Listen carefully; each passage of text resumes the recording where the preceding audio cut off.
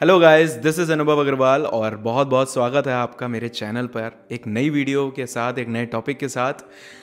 Attachment attachment क्या होता है? अटैचमेंट एक ऐसी चीज़ है जो हमें एक इंसान से जोड़े रखती है। अब रिश्ता अगर ख़त्म हो गया तो हमें उस इंसान से जुड़े रहने की ज़रूरत तो है नहीं। लेकिन अटैचमेंट की वजह से हम कहीं ना कहीं उस इंसान से जुड़े रहते हैं और अपनी लाइफ में आगे बढ़ नहीं पाते।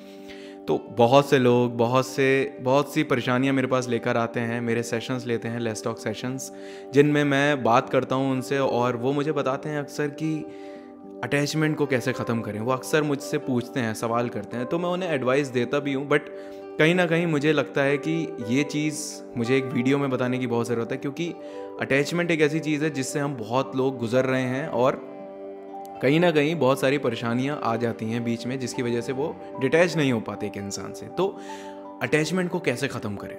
देखो, सबसे पहली चीज़ अटैचमेंट तब ख़त्म हो सकता है जब आप उस इंसान के लिए नहीं, लेकिन अपने लिए जीना स्टार्ट करें। अब तक क्या हो रहा था? एक रिश्ते में हम दूसरों के लिए जीते हैं।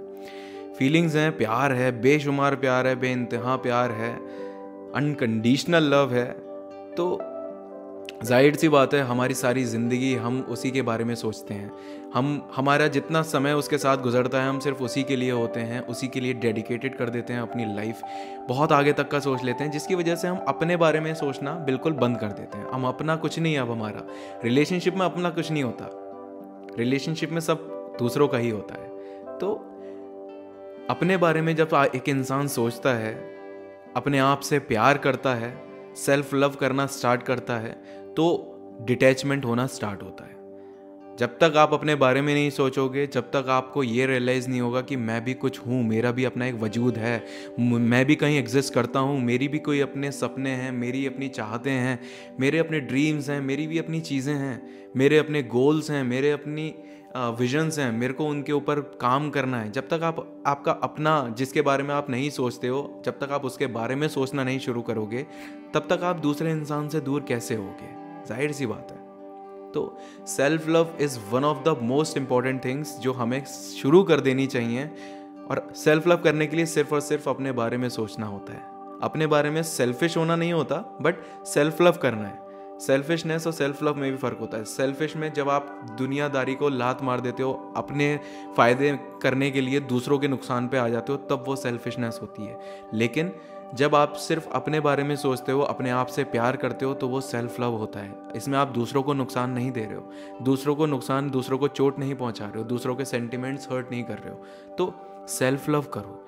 प्यार करो खुद से। ये सोचो कि यार, मैं भी कुछ हूँ। मेरे भी अपने सपने हैं, मेरी भी अपनी चीज़ें हैं, मुझे अब उनके बारे में सोचना है। मेरा रिश्ता ख़त्म हो गया, ठीक है, मैं मानता हूँ। लेकिन अब मुझे आगे बढ़ना है। अपने आप से प्यार करना शुरू करो। अपनी इम्पोर्टेंस अपने आप को फील कराओ। अपनी अपने आप को ये महसूस कराओ कि तुम भी खूबसूरत हो, तुम्हें अपने आप, अपना ख्याल रखना है। तो जब आप अपने बारे में सोचना शुरू करोगे, अपनी ज़िंदगी को अपने लिए, अपनी बनाओगे, दूसरों की नहीं तो सेल्फ लव करना स्टार्ट होते हो। जब आप सेल्फ लव करना स्टार्ट करोगे तो आप दूसरों लोगों से, दूसरों से डिटैच होना स्टार्ट हो जाते हो। तो सबसे पहला पॉइंट है सेल्फ लव दूसरा पॉइंट दूसरा पॉइंट ये है कि अपने आप को बिज़ी रखो। जब आप अपने आप को बिज़ी रखोगे तो ज़ाहिर सी बात है दूसरे लोगों के बारे में कम से कम सोचोगे। भले ही चीज़ों में टाइम लगेगा, लेकिन आप जितना ज़्यादा अपने आप को बिज़ी रखोगे, उतना ज़्यादा अच्छा है, उतना कम सोचोगे, क्योंकि जितना खाली रहता है एक इंसान, उतना अपने एक्स के बारे में सोचना, लोगों से जिनसे आप अटैच हो, उनके बारे में सोचना, वो सब चीज़ें बहुत होने लगती हैं। अपने आप को अपने काम में, अपने बिज़नेस में, अपने पढ़ाई में लगाओ, अपना मन लगाओ, अपना ध्यान लगाओ, कोशिश करो वो सब करने की जो आपने छोड़ा हुआ है। कोशिश करो उन चीज़ों की जो आपके लिए इम्पोर्टेंट है। वो इंसान अब आपके लिए इम्पोर्टेंट नहीं है। अब आपके लिए इम्पोर्टेंट क्या है?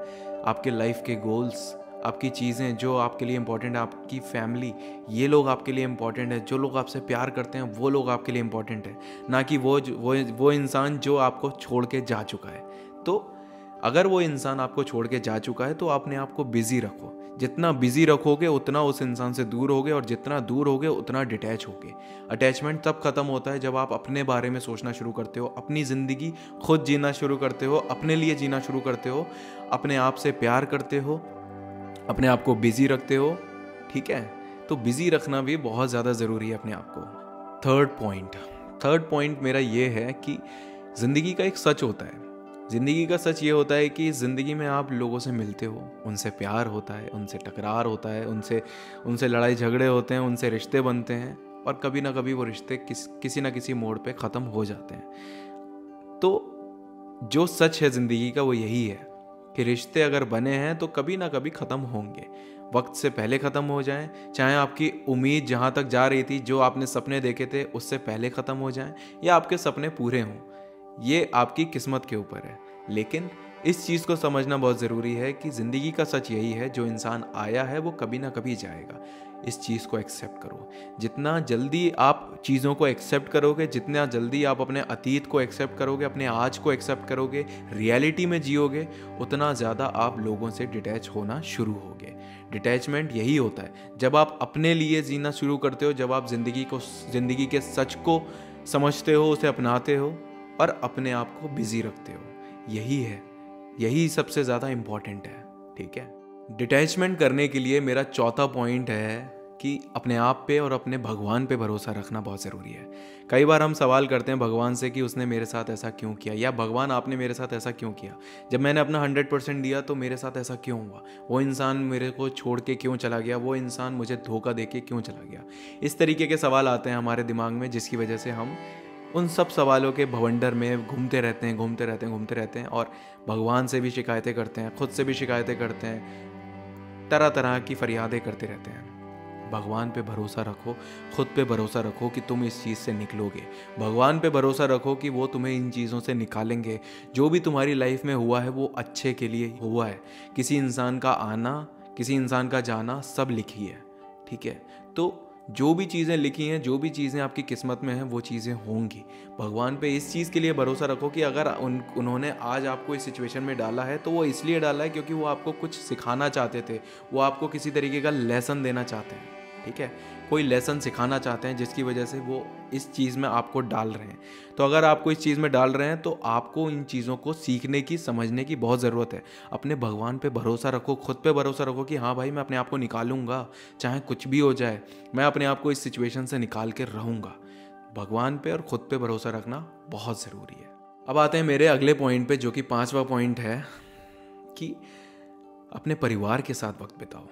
कई बार क्या होता है रिलेशनशिप में हम अपनी फैमिली से बहुत दूर हो जाते हैं। फैमिली के साथ टाइम स्पेंड नहीं कर पाते। फैमिली को इतनी इंपॉर्टेंस इतनी वैल्यूज़ नहीं दे पाते और उनके टूवर्ड्स जो हमारी रिस्पॉन्सिबिलिटीज़ हैं, उन पर ध्यान नहीं दे पाते। ठीक है? तो अपनी फैमिली के साथ टाइम स्पेंड करो, लोगों से बात करो, अपना दुख ज़ाहिर करो शेयर करो, किसी ना किसी तरीके से एक्सप्रेस करो अपने आप को। ठीक है? अपने परिवार के साथ जितना वक्त बिताओगे, उतना आप लोगों से डिटैच होगे। जितना ज़्यादा आप अपने आप को बिज़ी रखोगे, उतना ज़्यादा डिटैच होगे। जितना ज़्यादा आप अपने आप से प्यार करोगे, उतना ज़्यादा डिटैच होगे। जितना ज़्यादा भरोसा रखोगे भगवान पे और ख़ुद पे, उतना ज़्यादा डिटैच होगे। ठीक है? और मेरा अगला पॉइंट भी यही है कि वक्त को वक्त दो यार। आई नो चीज़ें इतनी जल्दी नहीं हो सकती। चीज़ें रातों रात नहीं बदल जाती हैं, लेकिन अगर आप अपने आप पे भरोसा रखते हो, वक्त को वक्त देते हो तो सब ठीक हो जाता है। मैंने हमेशा कहा है, पिछले छः सात सालों से जब से मैं ये काम कर रहा हूँ, जब से मैं लोगों से बात कर रहा हूँ, जब से मैं पोइट्रीज कोट्स ये सब पोस्ट कर रहा हूँ, जब से मैं लिख रहा हूँ, तब से मैंने हमेशा एक ही बात कही है वक्त को थोड़ा वक्त दो, सब ठीक हो जाएगा। जब आप वक्त देते हो ना वक्त को तो सब कुछ ठीक हो जाता है। वक्त धीरे धीरे आपको आपको लोगों से दूर कर देता है। वक्त धीरे धीरे आपको लोगों से डिटैच कर देता है। वक्त धीरे धीरे आपको एक अच्छा एक बेटर इंसान बना देता है। वक्त धीरे धीरे रियलिटी देता है आपको। वक्त धीरे धीरे गिराता है धीरे धीरे उठाता भी है। तो वक्त को थोड़ा वक्त दो, सब ठीक हो जाएगा, ठीक है? अगर आपको अभी भी मुझसे किसी भी तरीके की बात करनी है, किसी भी तरीके के सवाल हैं आपके अंदर मेरे लिए तो आप मुझसे डायरेक्टली बात कर सकते हैं मेरे लेस टॉक सेशन में। मेरी वेबसाइट अनुभव अग्रवाल डॉट कॉम पर जाइए, वहाँ पे लेस टॉक सेशन का एक सेक्शन है, वहाँ पे जाके आप मुझसे या मेरी वाइफ डॉक्टर सलोनी से बात कर सकते हैं और किसी भी तरीके की रिलेशनशिप प्रॉब्लम्स के बारे में बात करके 110 percent resolution with 110 percent satisfaction पा सकते हैं।